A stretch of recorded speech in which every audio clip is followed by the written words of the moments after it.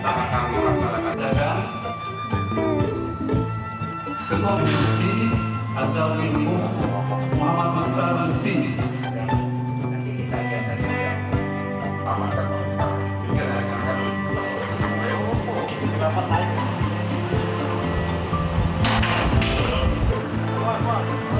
jaksa eh, memberikan tuntutan yang tertinggi maksimal 12 tahun. Berarti tidak bisa kebiri?